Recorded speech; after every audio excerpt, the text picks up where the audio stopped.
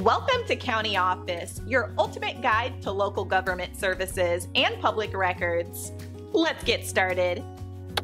How are statutory law and administrative law different? Statutory law and administrative law are two pillars that support the structure of legal governance, each with its distinct characteristics and functions. Understanding the difference between these two types of law is crucial for grasping how legal systems operate. Statutory law is the body of law enacted by legislative bodies, such as Congress or state legislatures. It is written law, formally codified, and accessible to the public.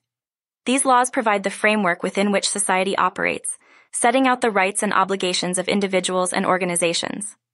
Statutory laws are direct expressions of the will of the legislative body, reflecting the social, economic, and political priorities of the time. On the other hand, Administrative law deals with the rules and regulations created by administrative agencies. These agencies are granted the authority by statutes to enact regulations that detail how the broad directives of the statutory law will be implemented. Administrative law encompasses the procedures under which these agencies operate, including rulemaking, enforcement, and adjudication. It governs the internal workings and interactions between the government and the public, ensuring that administrative decisions are made transparently and fairly. A key difference is the source of authority.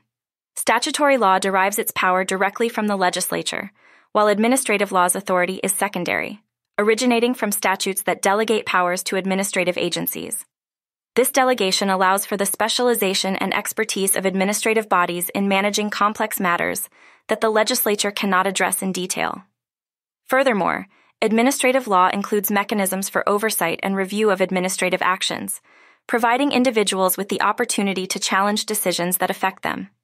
This ensures accountability and protects against overreach by administrative bodies.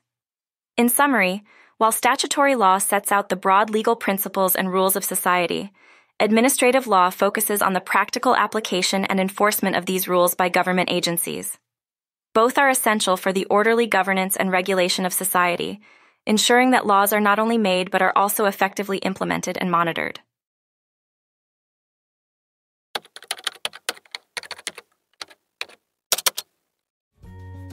To learn more, check out these links, which you can click in the description below. And feel free to comment your questions. We're here to help.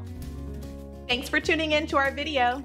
Please like and subscribe and leave a comment below. See you in the next video.